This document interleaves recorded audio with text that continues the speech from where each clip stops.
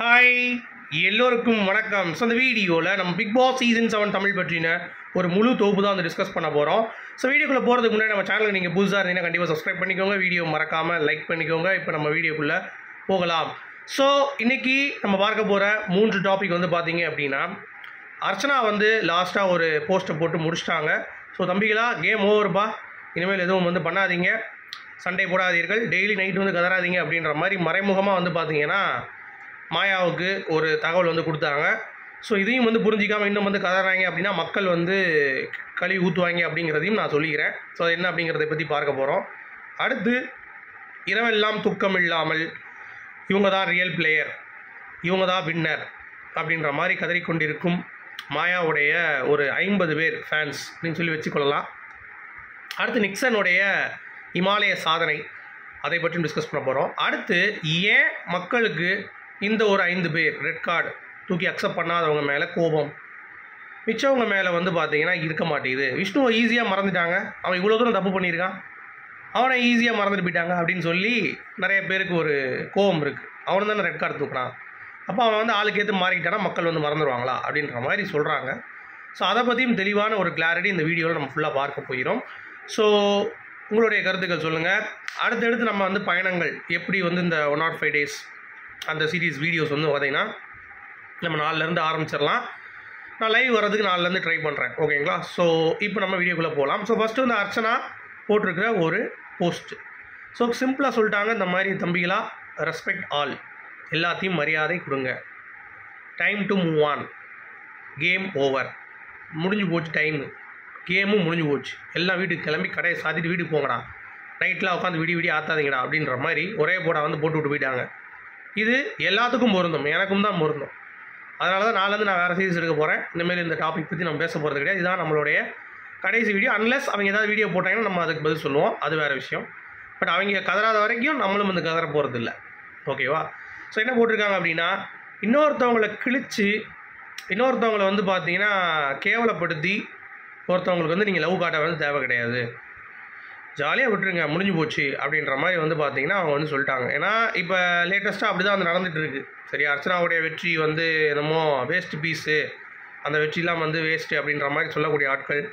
என்னமோ இந்த சைடு இருக்கவங்களாம் வந்து பார்த்தீங்கன்னா பயங்கரமான ஒரு டெக்னீஷியன் டீமில் இருக்கிற நம்ம கமல் சாரை ரஜினி சாரை வைத்து இயக்க போகிற ஒரு டீம் கொடுக்குற பில்டப் மாதிரி கொடுத்துட்ருக்காங்க மாயாவுக்கு. நான் எங்கள் அக்காலாம் யார் தெரியுமா? அப்படின்ற மாதிரி. புரியுதா உங்களுக்கு? ஸோ இந்த மாதிரி இந்த பிரச்சனைகள் வந்து வந்துகிட்டே இருக்கிறதுனால அர்ச்சனா என்ன பண்ணிட்டாங்க அப்படின்னா ஒரே போடா போட்டாங்க. இந்த மாதிரி டேய் விட்டுருங்கப்பா. எல்லாத்துக்கும் வந்து வேலை இருக்குது கிளம்பி போங்க. போதும். அப்படின்னு சொல்லிட்டு. இது வந்து நீங்கள் போன சீசன் பார்த்தீங்கன்னா ஆறு மாதத்துக்கு தான் அசீம் போட்டார். அது வரைக்கும் போயிட்டு இருந்துச்சு பிரச்சனை.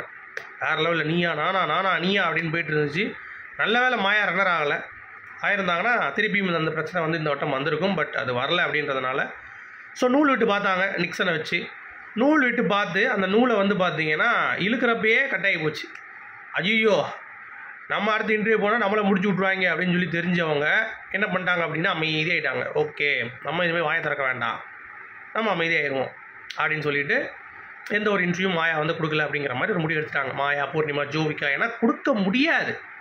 யாருக்கிட்ட உட்காருவீங்க? ஏதாவது சொம்பு சேனலில் போய் உட்காந்துக்கிட்டு செருப்படி வாங்க வேண்டியது தான் நிலமை. சரி நிக்சன் பண்ண சாதனை தெரியுமா? என்ன அப்படின்னு சொல்லிட்டு கிட்டத்தட்ட பத்தாயிரம் டிஸ்லைக் வாங்கியிருக்காப்புல. எல்லாம் வந்து பாடுறா மூவாயிரம் லைக்குடா முடியுமா அப்படின்னு சொல்லிட்டு இவங்கெல்லாம் கொடுத்தாங்க தினேஷ் விஷ்ணு மணி இவங்கெல்லாம் வந்து ரொம்ப ஃபேக்குடா அர்ச்சனாலாம் வந்து கொடுத்தாங்க பாரு நிக்சனு கெத்தா. மூணு கே லைக்குடா அப்படின்னு பார்த்தா அடுத்து போய் கூகுளில் போய் பார்த்தாங்க செக் பண்ணால் பத்தாயிரம் டிஸ்லைக் இருக்குது ஆனால் மூதேவிகளா அப்படின்ற மாதிரி தான் இருந்துச்சு. அதுதான் சொல்கிறேன் மக்களுடைய ஹேட் வந்து இவ்வளோ தூரம் இருக்கிறதுக்கான காரணம் என்ன அப்படின்னா அவங்களுடைய தவறுகளை ஒத்துக்க மாட்டுறாங்க அதுதான் ஒரு பிரச்சனை. சரி அதுக்கு முன்னாடி மாயாவுடைய ஸ்பேஸ் அதில் நடந்த உருட்டல். அதாவது ஒரு ஃபைட் வேணுமா ஃபைட் இருக்குது டான்ஸ் வேணுமா டான்ஸ் இருக்குது என்டர்டெயின்மெண்ட் வேணுமா என்டர்டெயின்மெண்ட் இருக்குது அப்படின்ற மாதிரி எல்லாம் வந்து சகஜ நிலையில் இருக்கக்கூடிய ஒரு விஷயம்னா அது வந்து மாயாவுடைய ஸ்பேஸ் தான். அதாவது மாயாவுடைய ஸ்பேஸில் இருக்கிறவங்களே போதும் மாயாவை பூர்வம் அசிங்கப்படுறதுக்கு. அவங்க போதும். அவங்களே பயங்கரமாக சொல்லுவாங்க. எப்படி? பூர்ணிமா நிக்சன்லாம் வந்து குட் ஃபைன் தான். டேலண்ட்ஸ் இருக்குது நான் ஒத்துக்கிறேன். டேலண்ட்ஸ் இல்லாமலாம் இல்லை. எல்லாத்துக்கும் டேலண்ட்ஸ் இருக்குது இல்லாட்டி பிக் பாஸ்க்கு எடுக்கிறாங்க. பட் உங்களுடைய கேரக்டர் நல்லாலையேப்பா அப்படின்ற மாதிரி தான் சரியா? இன்னொன்று என்னென்னா மாயா வந்து கமலஹாசன் அவர்களும் நம்ம விஜய் அவர்களும் கேமியோவில் நடித்தாங்களாம் மாயா வந்து மெயின் ரோலில் நடித்தாங்களாம் லியோவில் இப்படிலாம் உருட்டுறாங்க பாருங்கள் மாயா வந்து மெயின் ரியோவில் விக்ரமில் வந்து ஒரு மிகப்பெரிய ஒரு கேரக்டராக அப்படின்ன கேரக்டரு ஆ. அந்த கேரக்டர் தான் நினைக்கிறேன்.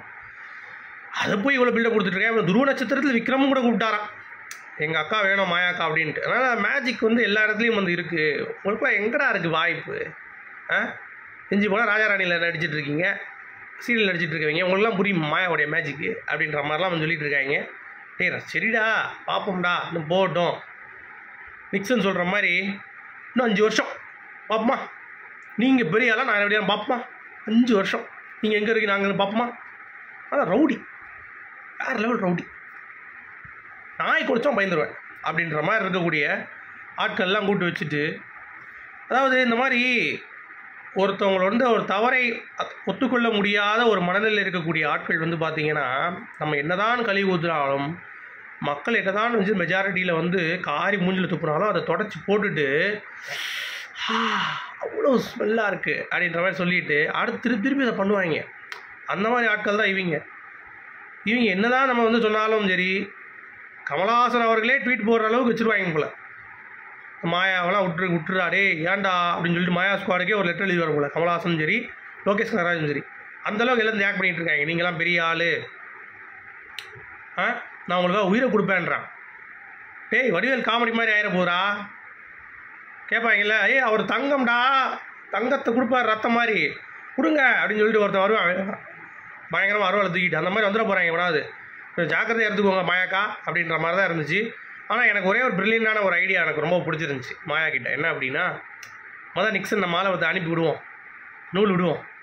நூல் விட்டு வெளியே அப்படியே இழுத்து வந்தான்னா நம்ம திருப்பி போகலாம் நூல் அப்படியே கட்டாகி போச்சுன்னா அப்படியே விட்டுருவோன்ட்டு. கட்டாகி போயிடுச்சு. அதனால் திருப்பி இன்டர்வியூலாம் வர்றதுக்கான வாய்ப்புகள் வந்து ரொம்ப ரொம்ப கம்மி. ஃபேஸ் பண்ணணும்ல மக்களை ஃபேஸ் பண்ணணும்ல நீ என்னதான் உருட்டினாலும் மக்களை ஃபேஸ் பண்ணணும்ல ரியாலிட்டி என்னன்னு தெரியணும்ல ஸோ அதனால் அசிங்கப்பட்டாங்க அவங்களுடைய ஃபேன்ஸ்னாலேயே அப்படிங்கிறது தான் மாயா பூர்ணிமா. சரியா? அடுத்து நிறைய பேர் கேட்குறீங்க விஷ்ணு விஜயோடைய ஹேட்டை வந்து மக்கள் மறந்துட்டாங்க. அவரும் தான் பிரதீப் ரெட் கார்டு தூக்குனார். அவரும் தான் பிரதீப் பற்றி பேசினார். அவர் இப்போ எல்லாம் கொண்டாடுறீங்க எப்படி? எங்களையும் கொண்டாட மாட்டீங்க அப்படின்றாங்க மாயா பூர்ணிமா. ஏடா அவன் வந்து ஒத்துக்கிட்டாடா நான் பண்ணது தப்பு. நான் வந்து அப்படி நினச்சிட்டு இருந்தேன். பட் இந்த காரணங்களுக்கு கொடுத்தது தப்பு. அவன் வந்து இந்த கெட்ட வார்த்தை பேசுகிறான் இல்லை அவன் கன் அன்கம்ஃபர்டபுளாக ஃபீல் பண்ணான் அப்படின்ற மாதிரி கொடுத்துருந்தீங்கன்னா ஓகே பட் உமன் கார்டை தூக்கிட்டு கொடுத்ததுங்கிறது தப்புங்கிறத அவன் ஸ்டாண்ட் பண்ணி ஒத்துக்கிட்டான். அதனால தான் விஷ்ணு விஜய் வந்து மக்களுக்கு வந்து பிடிக்குது. நீங்கள் அதை ஒத்துக்கவே மாட்டீங்களே. நாங்கள் அப்படி இல்லவே இல்லை. எங்களுக்கு அவங்க சொன்னது தான் உமன் சேஃப்டியில் அது கொடுக்கல. அப்படின்னு சொல்லிட்டு ஒருத்தர் வந்து பேசினான். உள்ள கமல் சார் என்ன சொன்னார்? நீங்கள் சொல்லி தான் நான் கொடுத்தேன். உம் பெண்களுக்கு பாதுகாப்பு இல்லைன்னா என்னடா அர்த்தம்? உமன் சேஃப்டி தானே? ஸோ பார்த்துக்கோங்க மக்களே. இவ்வளவு தான் மேட்ரு ஸோ உங்களுடைய கருத்துக்கள் என்ன அப்படிங்கிறத சொல்லுங்கள் ஏன்னா இவனுங்க இனிமேல் நம்ம வந்து அடிச்சும் பார்த்தாச்சு அவுத்தும் பார்த்தாச்சு திருந்துற மாதிரி கிடையாது. ஸோ நம்ம அடுத்து நம்ம சீரீஸ் அந்த ஒன் நாட் ஃபைவ் டேஸ் அந்த சீரீஸ் பேரில் நாளிலேருந்து அடுத்து எவனா கொடுத்தான்னா பதிலடி நம்ம கொடுப்போம். அது வரைக்கும் நம்மளும் வந்து பார்த்தீங்கன்னா game over Bigg Boss season seven Tamil அப்படின்னு சொல்லிட்டு இந்த வீடியோ நான் முடிக்கிறேன். உங்களுடைய கருத்துக்கள் சொல்லுங்கள்